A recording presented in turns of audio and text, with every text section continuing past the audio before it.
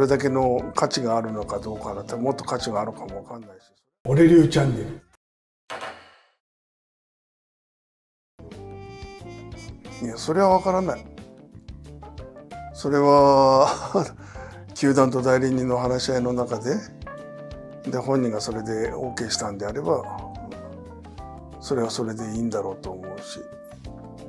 だからそれだけの価値があるのかどうかだったらもっと価値があるかもわかんないしそれは本人がどう思うかだけであって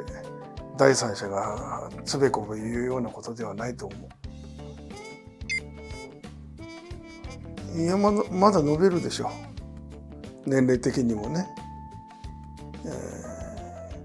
ーまだやりたいことがいっぱいありそうな、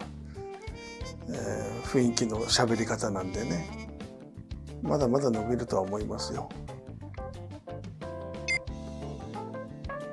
いやジャッジでしょ？